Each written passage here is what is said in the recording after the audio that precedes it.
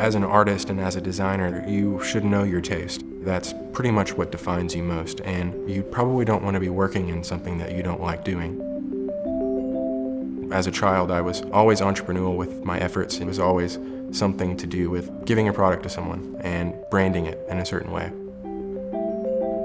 Prospector Co products are sensitive skin geared products. They moisturize the skin and condition the hair follicle, smell a certain way, and when composed with other oils create a full package. When we started the brand, it was just a core four products and almost immediately had interest from, from retailers, primarily mixed brand boutiques, men's clothing stores, like Barney's department store, and barber shops.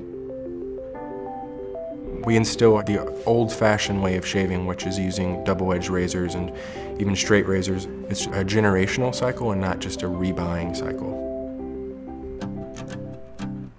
In Savannah, just things feel a little bit more precious than they do in, in larger cities. There's more of a, a nurturing community aspect to each of the small businesses that open.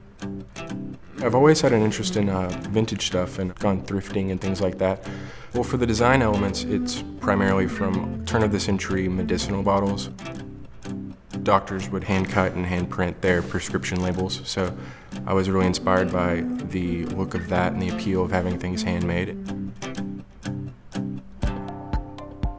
I studied graphic design at SCAD and I graduated in 2006. I learned to create something that's legible and can be understood by many different people. You have to lose a little bit of the self-indulgent side and connect all the dots with other people's interest as well. You have to go with your instinct, and if it feels right, you have to persevere, and you have to believe strongly in what it is that you're doing. Just stick with it, and your instincts and your passions will develop for you.